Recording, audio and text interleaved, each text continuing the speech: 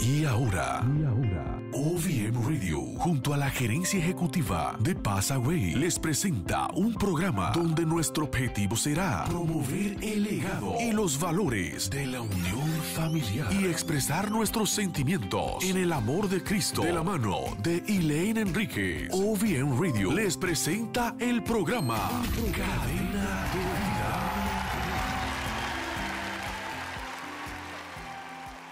Pablo, apóstol de Cristo, por decisión de Dios nos prometió vida en Cristo Jesús.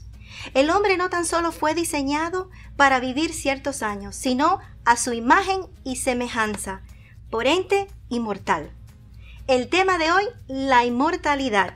Conmigo se encuentran dos invitados muy especiales, pero les quiero dar la bienvenida a todos ustedes a Cadena de Vida. Estamos felices y contentos de compartir todas las semanas trayéndole diferentes tópicos que sé que van a edificar sus vidas. Conmigo se encuentra el director gerente de Passaway, Giuseppe Glorioso, y nuevamente con nosotros, vía Skype, el pastor William Delgado, del periódico La Palabra. Bienvenidos a ambos.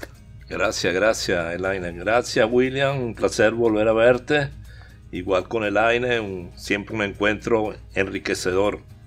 Yo estoy muy contenta, muy feliz. Vamos a hablar de varios tópicos, pero el principal es la inmortalidad, es el enfoque de este programa.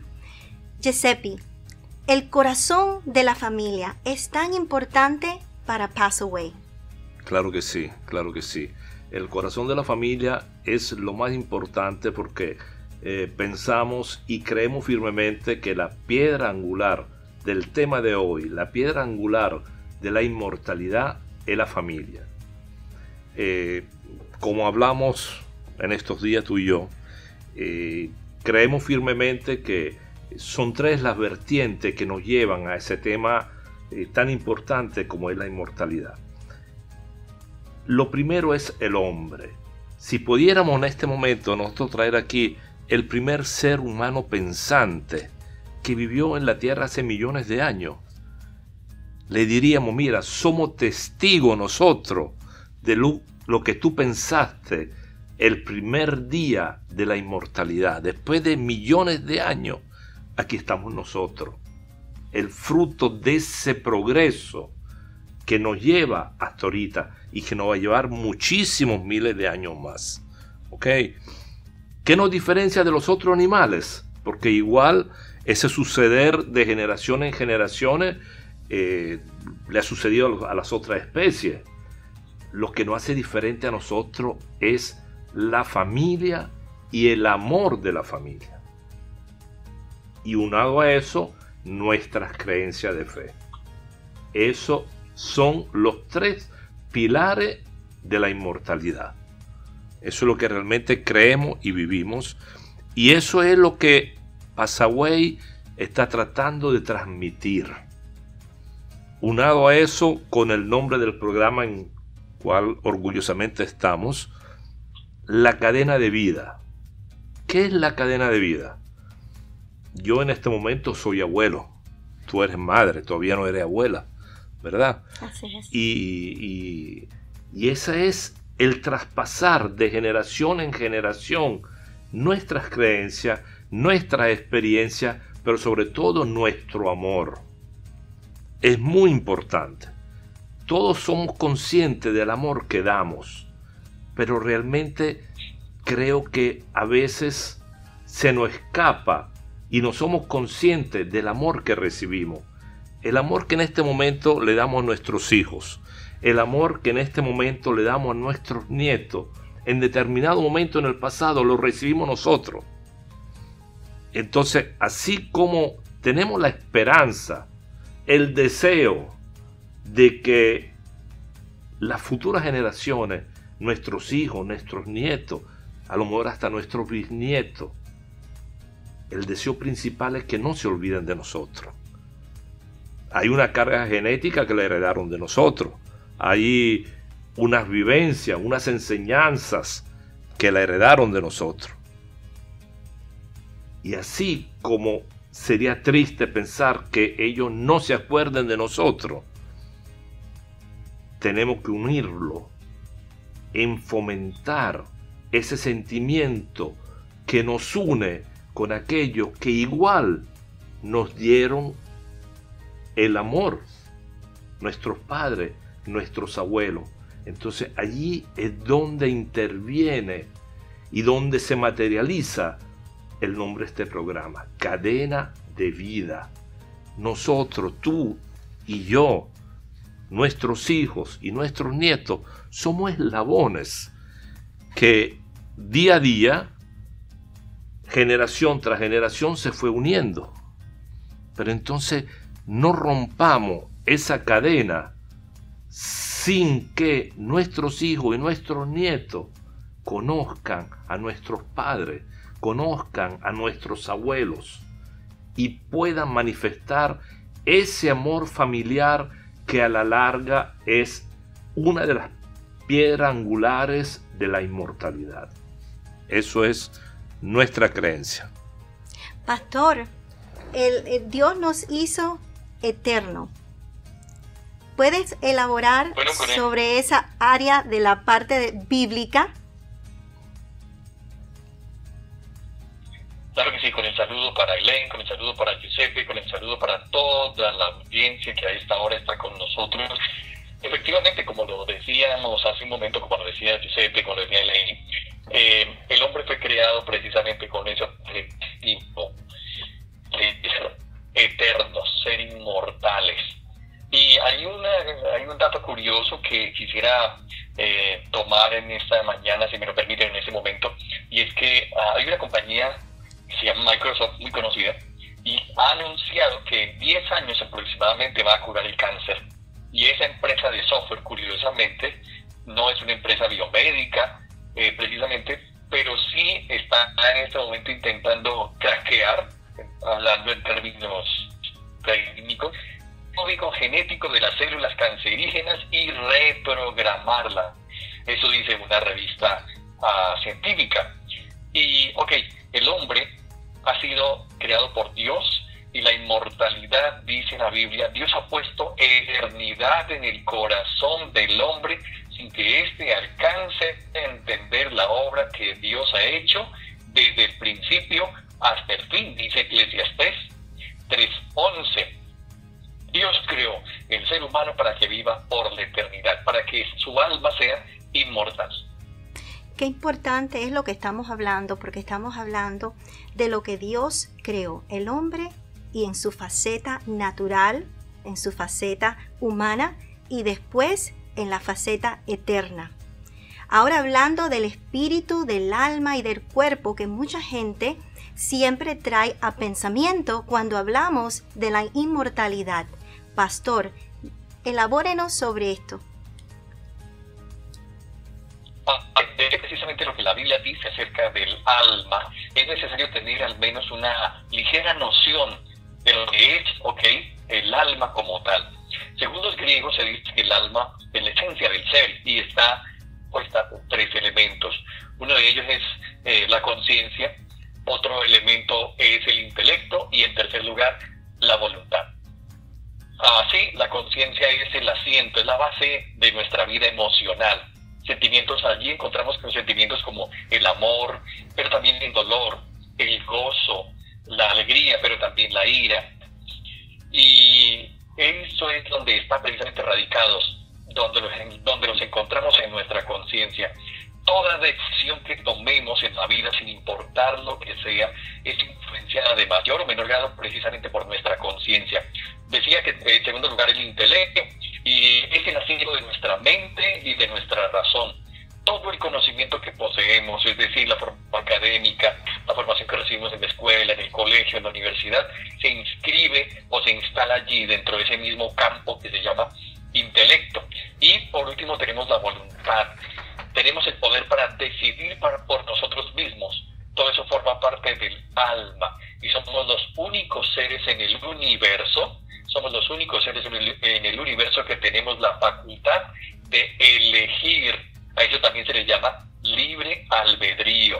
Pastor, qué interesante eh, está lo que acaba de explicar, porque muchas personas no conocen eh, las profundidades eh, de los términos bíblicos, lo que Dios diseñó. Y ahora sabemos que el pecado hace que el hombre se deteriore. ¿Cómo es eso que la inmortalidad, en este caso, del deterioro del hombre, es efectiva? Bueno, como estaba mencionando ahora más temprano, en Hebreos 9:27 dice que está establecido por los hombres que mueran una sola vez y después de eso el juicio. Eso a causa del pecado. La Biblia dice en Romanos 3:23, por cuanto todos pecaron, ¿qué pasó? Fueron destituidos de la gloria de Dios. Aún los ángeles que pecaron también fueron destituidos de la gloria de Dios. Y ya ahí entramos en otro terreno espiritual. Los ángeles, estamos hablando del lucero de la mañana o de Luzbel, que pasó a convertirse en eh, Lucifer. ¿Por qué? Porque también pecó. Y eh, el alma, eh, mejor, el ser humano, por causa del pecado, de la desobediencia, de la transgresión, también pecó y por esa causa su cuerpo empezó a morir. Y por esa causa la Biblia dice que Dios le destinó a los hombres en su vida física aproximadamente 120 años es lo que dura una persona sobre la tierra, es no es más. Sin embargo, su alma sigue siendo eterna. Cuando la persona fallece, cuando la persona muere, morir a qué? A estar en la presencia de Dios, a estar precisamente en lo que nosotros llamamos en el cielo, en la presencia de Dios. Eh, esa muerte espiritual, ah, precisamente que trae la consecuencia de la muerte física, ¿sí? El alma sigue viviendo, pero está en nosotros decidir si estamos con Dios o estamos lejos y apartados de Dios. Ahí es precisamente nuestra capacidad de elegir. Somos los únicos seres en el universo que tenemos ese privilegio y nosotros hacemos decisiones muy pequeñas en la mañana. Eh, tomamos café o chocolate, eh, desayunamos pan o tostada. Es decir, tomamos decisiones muy simples, muy sencillas, pero hay una decisión trascendental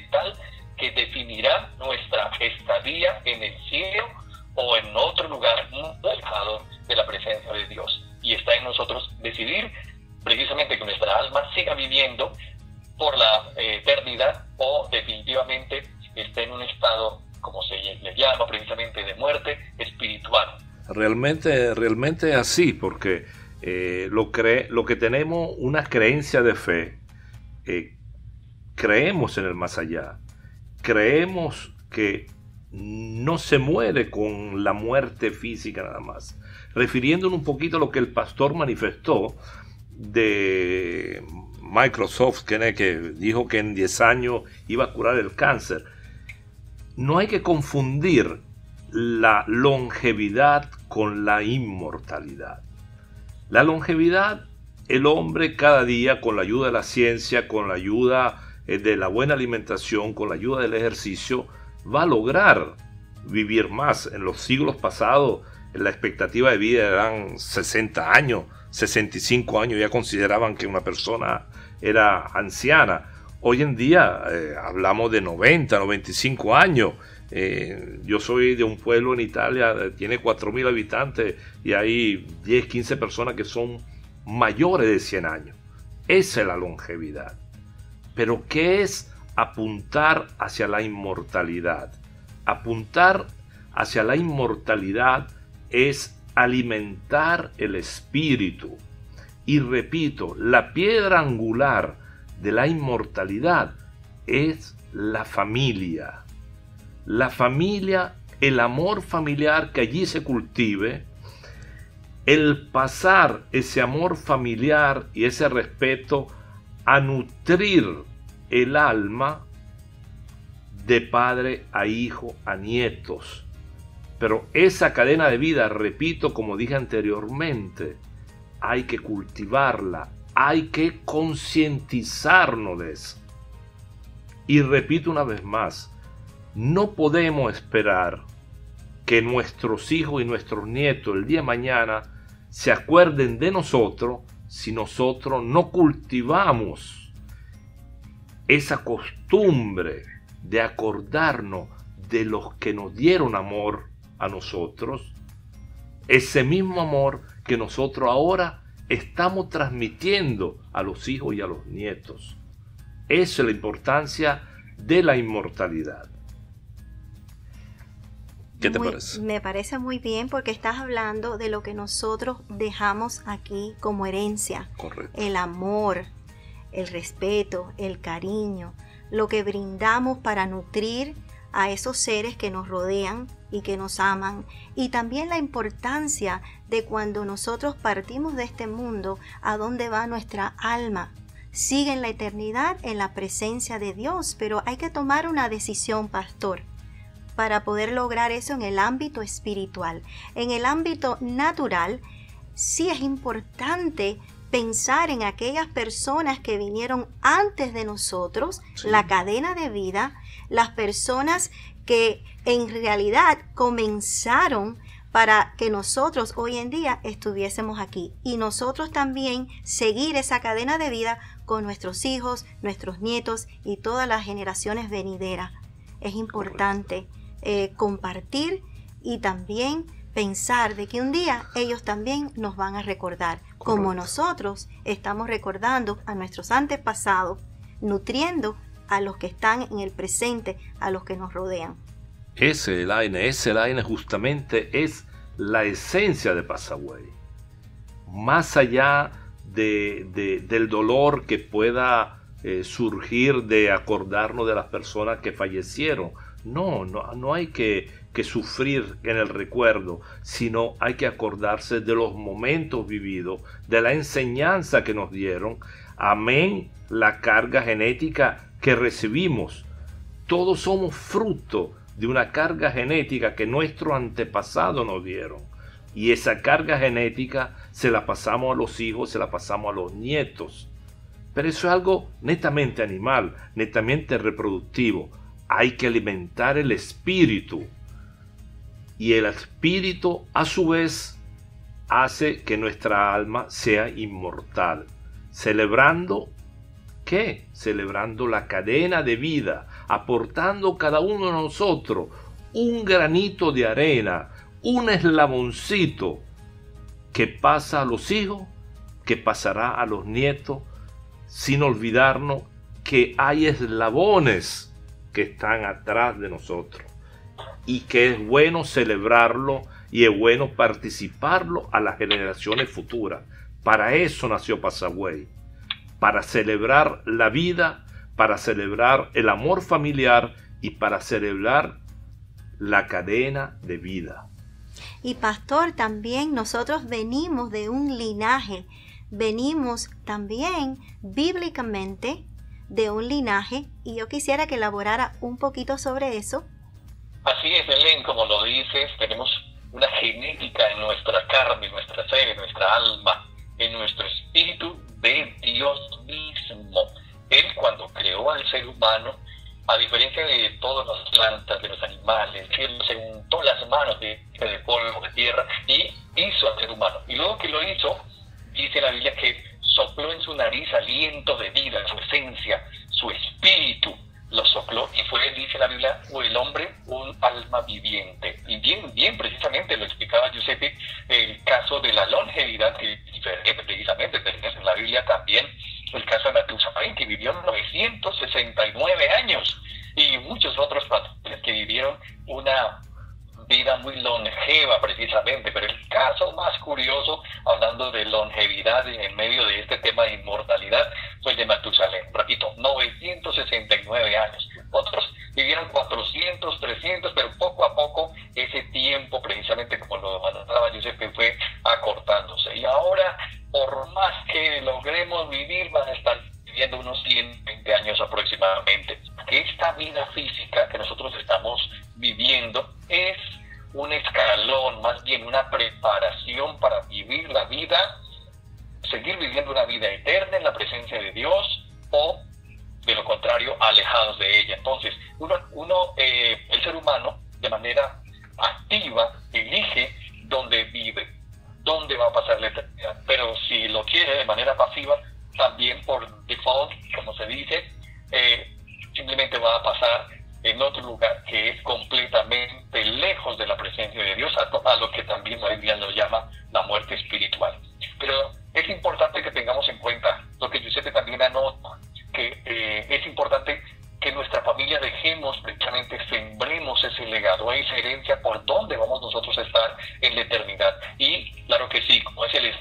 precisamente de Pass Away, vivirán mientras los recordemos. Esos seres queridos, esas personas que se nos han adelantado a la eternidad, bien, es importante que los homenajemos, que les brindamos no culto, que es otra cosa diferente, pero que sí, la Biblia dice que debemos honrar a nuestro padre, a nuestra madre, es decir, a nuestros ancestros, estén vivos o no lo estén.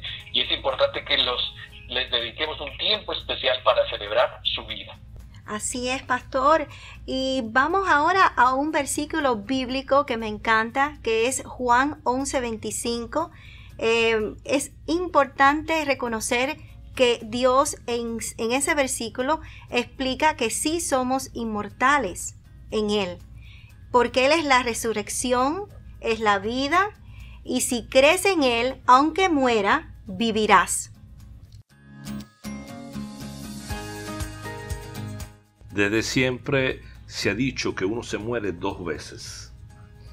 Se muere cuando fallecemos, simplemente por vejez, por accidente, por enfermedad, por lo que sea, se muere.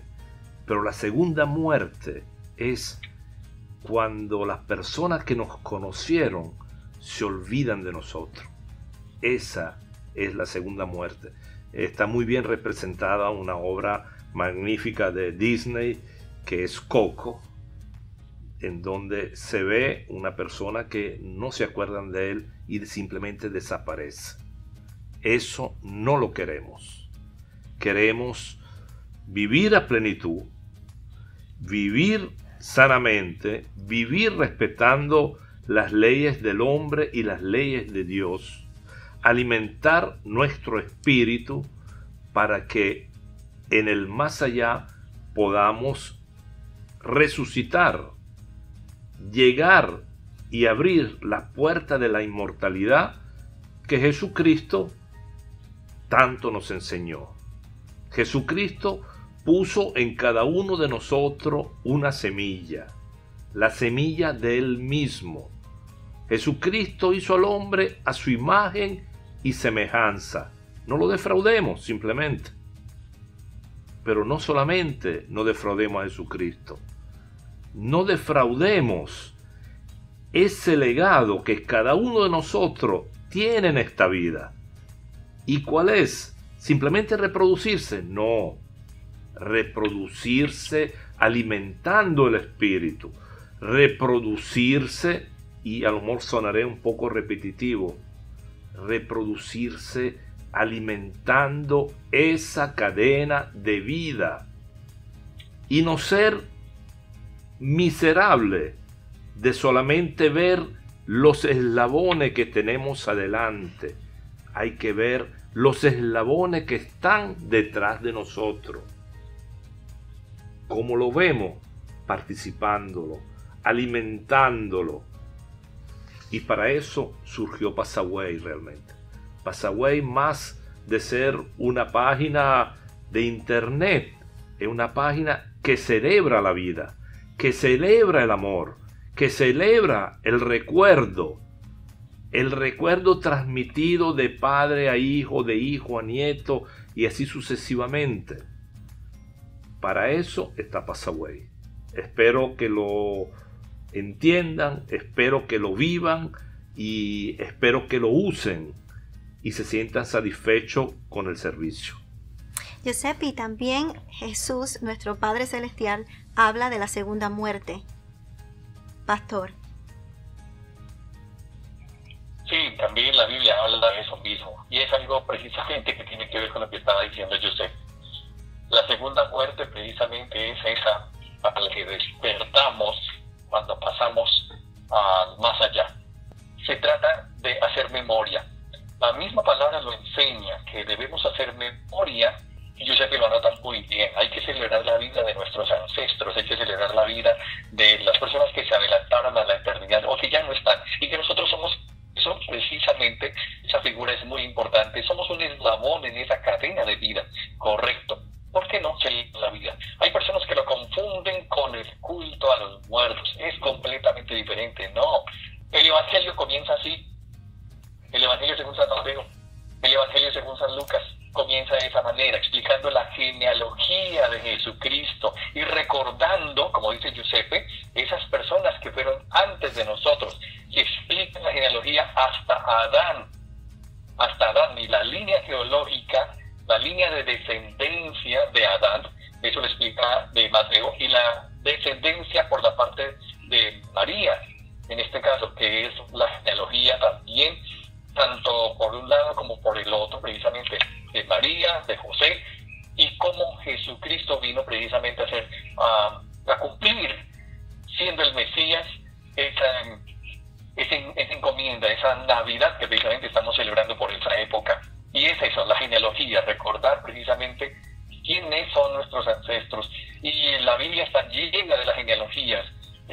Mateo, hijo de Alfeo, hijo. Y siempre Dios también se presentó de esa manera. Yo soy el Dios de Abraham, el Dios de Isaac, el Dios de Jacob, siempre recordando de dónde venimos porque formamos parte de esa cadena de vida. Eso es importante tenerlo en cuenta. Pues quiero tomar este momento para darle las gracias por estar con nosotros eh, compartiendo un tema tan importante y la verdad que ha sido un tiempo edificante. Me ha encantado y yo sé que a todos ustedes y yo quiero pues en estos momentos disculparnos porque la conexión del pastor William Delgado eh, pues ha sido un poquito eh, en el sentido de que ha habido eh, la imagen un poquito paralizada, pero la voz, todo se escucha muy bien. Hay veces eso sucede y quiero tomar este momentico para disculparnos por esas inconvenientes. Quisiera que en estos momentos nos pudieran compartir los contactos. ¿Cómo es que las personas que nos escuchan y nos ven pueden contactarlo? empezando con Giuseppe. Mira, contactar a Pasaway es muy fácil. Es, es una página digital www.pasaway.org. Al entrar allí van a poder accesar todos los servicios que se ofrecen, se podrán registrar, se podrán subir los seres queridos, se podrán subir fotos, videos, comentarios, pero lo importante es, Elaine, que al participarlo a nuestros conocidos, ellos pueden visitar, así como se va al cementerio a llevar un ramo de flores que el día siguiente ya está eh, marchito. No, puede visitar en la página un ser querido y simplemente decirle, no acordamos de ti, no vas a morir, porque no estamos acordando de ti, no estamos acordando de tus ejemplos, de tus anécdotas, y te recordamos con amor y con respeto. Y eso lo pueden hacer todos los días. ¿Te acordaste de un ser querido, de un abuelo, de un padre, de una madre, de un tío que compartió un periodo de vida? Tuviste un contacto y en la mañana te paraste y te acordaste de él. Te mete en internet te mete en www.pasaway.org y está publicado allí. Tiene la foto y simplemente decirle, mira tío, mira papá, mira abuelo, anoche soñé contigo. O sea, no estás tratando de comunicarte con él, simplemente estás manifestando un pensamiento, estás dando como una velita de recuerdo hacia esa persona que falleció. Porque tú agarras un ramo de flores y lo llevas al cementerio. Sí, ok, está frente a la tumba. Tuviste un pensamiento interno que le manifestaste. Mira, papá, mira, abuelo, me acuerdo de ti. Le dejaste las flores. Al día siguiente ya están marchitas y no es nada. Pero le deja un pensamiento que seguramente con el pasar del tiempo tú mismo lees las cosas que le escribiste y te puede traer una alegría dentro de tu corazón. Y es una vida que sigue viviendo. Y esa es cadena de vida. Qué lindo. Eso es lo que celebra Pasagüey. La vida, el amor familiar, el recuerdo de nuestros seres queridos, así como anhelamos que nuestros seres queridos el día de mañana se acuerden de nosotros. Acuérdense que el amor que nosotros damos estamos conscientes, pero el que recibimos a veces se nos olvida. Tú que quieres a tus hijos, tú que quieres a tus nietos, tú recibiste ese amor de tus padres y de tus abuelos. Mantén y nutre la cadena de vida. ¿Cómo? Con Passaway. Eso es, Elaine. Así es sencillo. Así es. Pastor. Bueno, encontrar a William Delgado es muy sencillo, arroba William Delgado G. En Instagram, William Delgado Gil. Y claro que sí, por supuesto, también en www.periódicocristianolapalabra.com. Allí también pueden usted eh, enviarnos sus comentarios, sus inquietudes, sus eh, preguntas con todo lo que usted necesite saber. Arroba William Delgado G en Twitter, en Instagram William Delgado G www.periódicocristianolapalabra.com. Muchísimas gracias, muchísimas gracias a todos ustedes. Sigan la cadena de vida y sigan viendo el programa Cadena de Vida. Aquí los amamos, los bendecimos y no olviden en contactarnos para que conozcan más de nuestros invitados y también si tienen alguna pregunta, alguna inquietud, algún tema que ustedes quieren escuchar, que quieren que traigamos a conversación, pues aquí estamos para servirles. Los amamos, los bendecimos y hasta muy pronto. Bye bye. Hasta luego.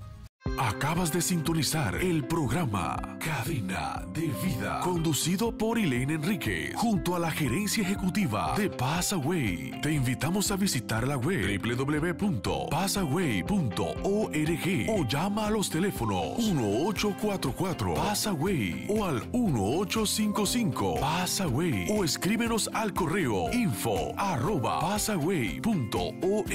Te invitamos a sintonizarnos el próximo miércoles desde las 7 de la noche, solo aquí por tu emisora favorita, OVM Radio y OVM TV, tu emisora informativa en línea para una vida cristiana mejor.